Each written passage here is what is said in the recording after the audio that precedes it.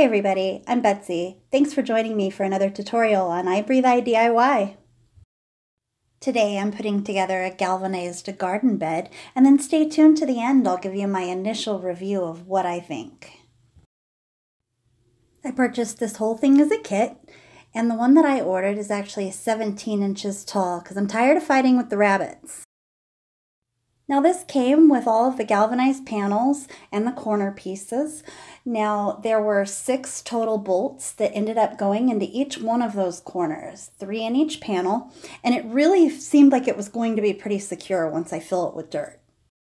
As an added bonus, the company included wing nuts to be able to secure all of the bolts that hold together that galvanized frame, which made it super easy for me to put together all by myself. The garden bed I'm putting together is a rectangle, so it had an extension kit that provided braces.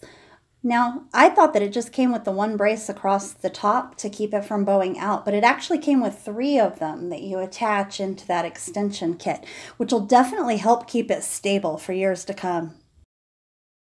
You can, of course, choose any shape or size that you like. I did get the taller version. They make a shorter version as well. There were several sizes and shapes to choose from. I chose to put together a couple of larger garden beds.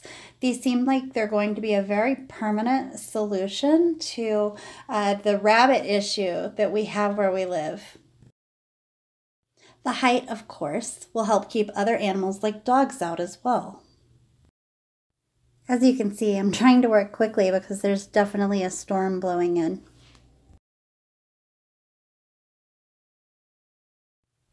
All right, what are my initial thoughts about this raised bed? I think I made a really good purchase when I bought these. They were very easy to put together. They're galvanized steel, so they should last a very long time. They have three bolts on each one of those panels that hold it into the corner and it seems pretty secure.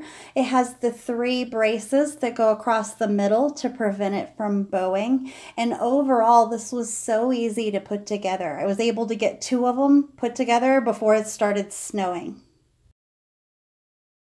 I hope you've enjoyed this tutorial and my initial review of this galvanized garden bed kit I'm Betsy, and thanks for joining me on I Breathe I DIY. Be sure and check out my website at ibreatheidiy.com.